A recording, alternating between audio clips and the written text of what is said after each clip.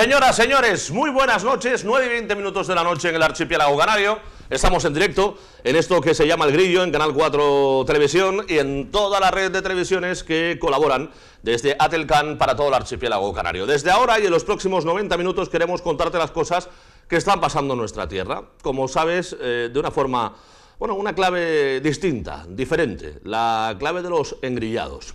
Tachi Izquierdo, buenas noches. Muy buenas noches. ¿Cómo estás? Engrillado. Ese, ese es el término, yo creo que... Mejor engrillado que no engrilletado, ¿no?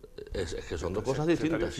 Engrillado es libertad y dos, engrilletado cosas, es... son dos cosas distintas. Precisamente el término salió discutiendo sobre lo, lo del engrillado y engrilletado, que es diferente. Sí, sí, es diferente. pues nada, muy bien, con ganas de, de- de- de empezar la semana con la actualidad que tenemos, que hoy es mucha, muy interesante, y, y dar un repaso a lo que está pasando por esta tierra, aunque le pese a algunos, claro. Bueno, Félix Roja, buenas noches. Buenas noches, yo no estoy de acuerdo en, en lo de Tú, tú- tú prefieres Yo, estar particular, Tú, tú no, siempre has no, sido bastante más pervertido que nosotros No, y a ti te gusta más y a ti te gusta más el engrilletado, ¿no? No, no, no me gusta más el engrilletado, ninguno de los dos. Yo prefiero hacer otra cosa que un grillo. ¿Por qué, hombre? Porque no, o sea, el programa me- tiene un nombre chachi, pero yo no me, puedo- me, no me, me tengo que sentir identificado con el grillo, no.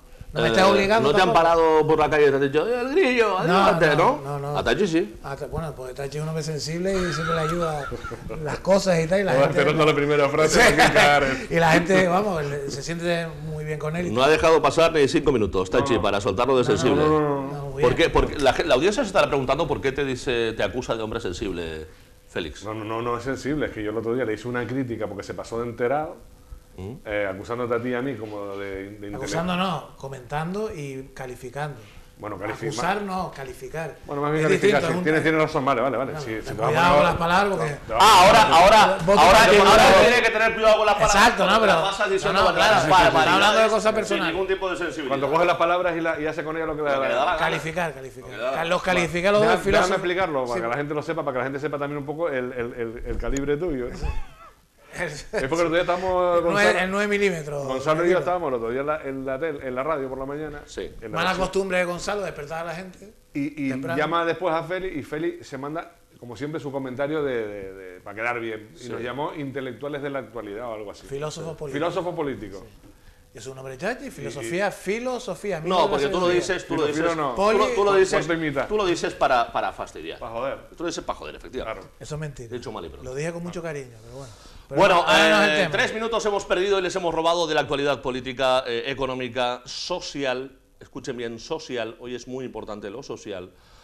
Eh, y les voy a indicar que tienen el 639-782-441, 639-782-441, el teléfono de WhatsApp al que ustedes pueden enviarnos lo que ustedes quieran, lo que ustedes consideren que es noticiable, cualquier denuncia, cualquier eh, comentario que quieran hacer, lo pueden hacer, insisto, a ese teléfono que aparece sobreimpresionado en sus pantallas, 639-782-441.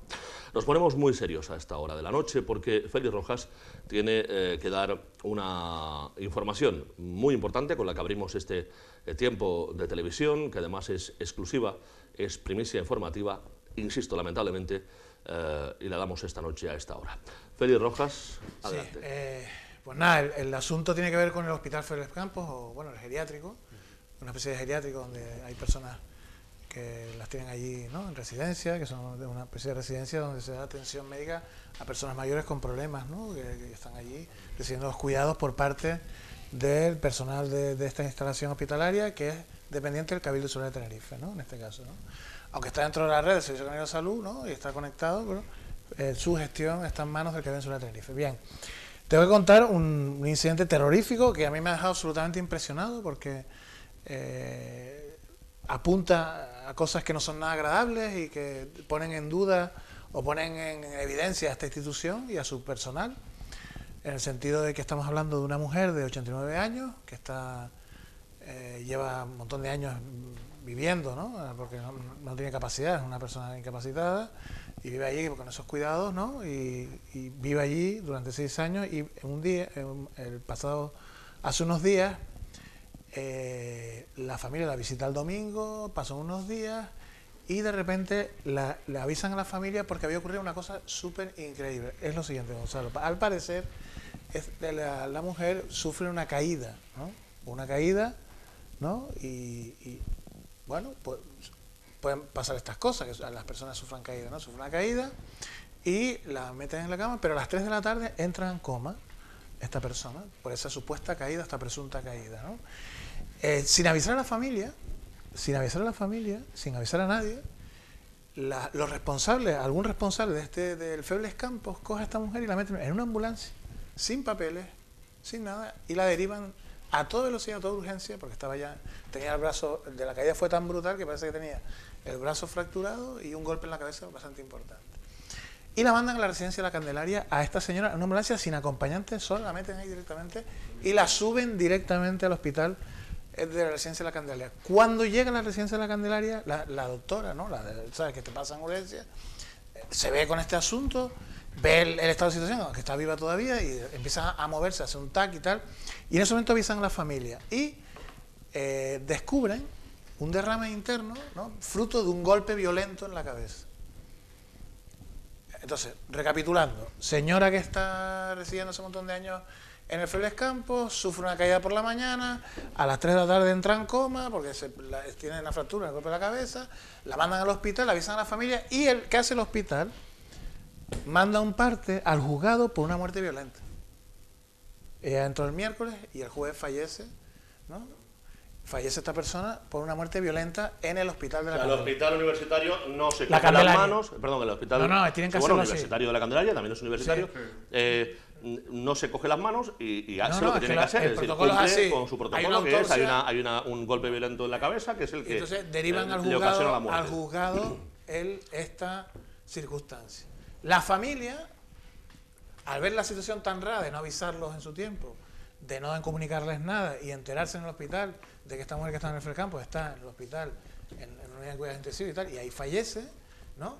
Han presentado también una denuncia contra el Febres Campo por estos hechos. Además de la investigación penal que se va a abrir de manera inmediata, porque tenemos, podemos estar ante la figura de un presunto homicidio involuntario, es decir, alguien o culposo, ¿no? No, hay intención, pero se ha producido una muerte violenta. lo que yo no termino de entender es que una persona se te, puede, se te puede, en un momento dado, en un error eh, flagrante, pero un error al fin y al cabo de, laboral, se te puede escurrir, se te puede caer. Conozco casos, conozco el caso, y ustedes conocen como yo el caso de una política que su padre se les cayó en una, en una, en una sala de quirófanos, estuvo a punto de morir. Eh, precisamente por este, pues porque se les escurrió. Eh, y ha habido otros casos, pero Félix, lo que no entiendo es que eso pueda pasar, pero nadie mm, eh, advirtió de que esta señora había recibido el golpe. O sea, solo cuando la mujer empieza a encontrarse en una situación grave. Pero a ver, Gonzalo, es que no, no, es comparable, porque estamos hablando de que una mujer por la mañana recibe un golpe, un percance, a las 3 de la tarde se pone en coma y la mandan al hospital sola en una ambulancia y un acompañante. Pues por eso digo. A un hospital. Pero, pero tú ves normal, pero tú ves normal para empezar que se caiga por la mañana algo a las 3. No, no es normal. Se cae a la 1, si se cae por la mañana se tendrá que ir a urgencias en una medicalizada. Es un centro con personal sanitario. Exacto, estamos hablando de una institución que depende del Cabildo de Isla de Tenerife. Y que vale, tiene una muy organizada. Vale, exactamente. Bueno, pues ha pasado esto y hay una denuncia, tanto la derivada del hospital al, al, al ver los, la autopsia y las pruebas y una denuncia de la familia, ¿no? que, que el viernes un familiar se dio al juzgado y el juez ya estaba enterado de todas estas circunstancias, pero la familia está estudiando personarse en, la, en esa causa ¿no? y la, que habrá una investigación. Yo, hubo un caso ya en también de, un centro que dirigía Aeromédica, ¿se acuerdan?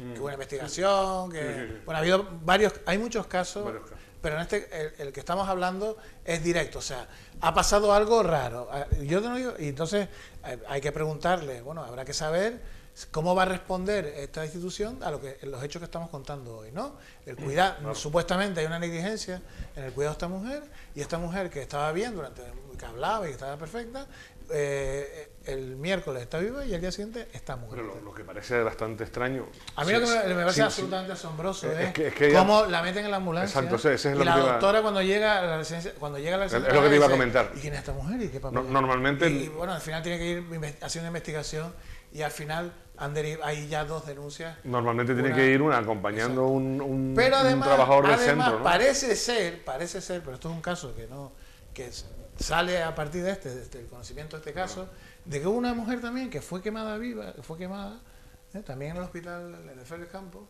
sufrió unas quemaduras, seguramente por, por, alguna negligencia, y murió al mes. y también está en, en un proceso también de investigación y de, de averiguar qué pasó. Entonces, ¿Qué eh, está pasando en el Félix no es recuerda, alarma, recuerda, pero, recuerda, pero es llamati- muy llamativo. recuerda eh. Iván un- en un programa en el Grillo que sacó una información, ¿se acuerdan? De una persona mayor que había hablado con el diputado del común y que había denunciado una serie de maltratos en un centro de tercera edad. de- vamos a ver. Pero claro, estamos hablando, es un centro privado, pero yo recuerdo que aquí hay una responsabilidad porque es un centro público, ¿no? Un hospital. eh, Bueno, en principio tiene un protocolo que no, no puede eh, bueno, saltárselo, pues, ¿no? O sea, pues, está, está bueno, claro. Pues al fin y al cabo, Es raro, es, es raro esa circunstancia de Exacto. que vaya la ambulancia y no la acompañe alguien que vaya con sus datos y que, Y que avisen a la que- familia desde el de- hospital. Y que es parte de la custodia. de que avisen a la familia desde el hospital. Y, y sin ningún. Eso me parece absolutamente asombroso y Claro, me parece claro. terrible todo esto, ¿no? De todas formas, complicado. disponemos de esa documentación para fundamentar todo lo que estoy diciendo y sin ningún tipo de problemas la mostraremos en su debido momento, ¿no? Pero vamos a esperar que la Sí, policía no, judicial también- haga la investigación y de- determine si realmente fue una, co- una caída invol- involuntaria o fue la... Sí, pero bueno, eh, insisto, otra vez, aunque fuese una caída involuntaria, dado el caso que fuese una caída voluntaria, lo normal, es decir, hay una, de- una, una presunta, una presunta dejación de funciones. Avisar a la familia y, poner ¿no? los protocolos en, en funcionamiento. Si se cae por Ya la mañana, lo que no puede ser es que vaya al mediodía ¿En al condiciones, ¿En hospital. qué condiciones pasó? ¿Qué no pasó? Claro. Y, y, hombre, si hay una caída. Hombre, la caída, desde luego, una tontería no fue. No, si, no, si no. se acaba una caída, un golpe en una hemorragia interna, en un fallecimiento, no- vamos. eh, ¿Y no las fue horas que estuvo en la cama? es sola? que. es que, ¿Qué hubiera pasado si se hubiera actuado inmediatamente? ¿Por qué se tardó tanto? Claro, se no. tardó tanto en llevar al hospital.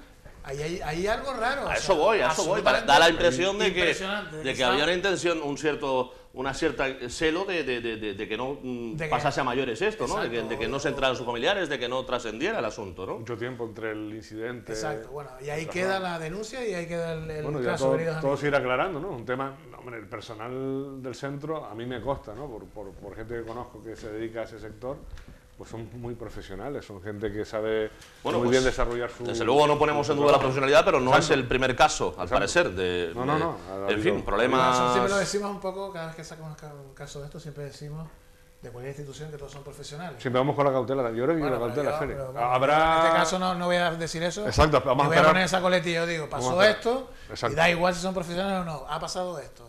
Hay que aclararlo, hay que pedir explicaciones. Hay duda. abiertas penalmente por presunta muerte violenta, eh, sin presunta, porque lo Es que certifica a los médicos es una muerte violenta y por presunto homicidio No es una muerte natural. ah, involuntario. no una muerte Bueno, natural, que sería lo lógico. Independientemente de en que pacientes sean muy este- buenos este profesionales, hay que aclarar este asunto. La dirección del Félix Campos y el consejero de Insular que del Cabildo corresponde a esta área debe dar explicaciones sobre este asunto. Bueno, pues noticia que lamentablemente les adelantamos en directo a esta hora de la noche en este además, medio de socialista comunicación. Aurelio Breso. Aurelio Abreu le toca estar. Aurelio Abreu lleva este asunto. Vicepresidente Sí, del. Bueno, pues yo Que le... hizo un debate sobre la sanidad y mira lo que pasa hoy.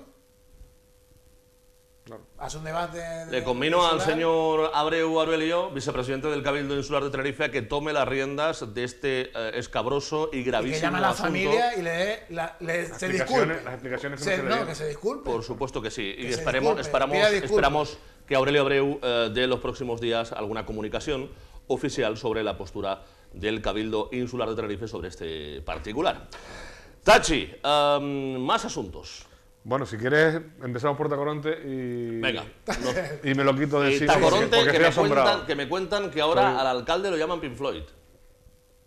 Bueno, podría ser Roger Water, que era uno de los miembros de Pink Floyd, ¿no? La- la- el alma mater de Pink Floyd. No, no estoy yo. Compo- Ha sufrido, ¿no? Ojo, eh, no compositor del- estoy, no compositor estoy- del- ¿no? Siempre está pidiendo por la madre. Por no estoy, la no- no- composición. no estoy pasándome tres pueblos con el alcalde, ni estoy parodiando nada que se le parezca.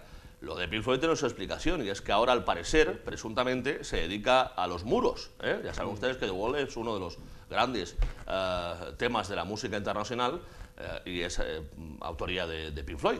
Por tanto, por eso digo que... Es un hombre de muros y barreras. Verán ustedes, no sé si mi compañero Ricky tiene preparado esa imagen, pero Sería- sería interesante. Ahora, después de Berlín, eh, después de Berlín, el más famoso es este.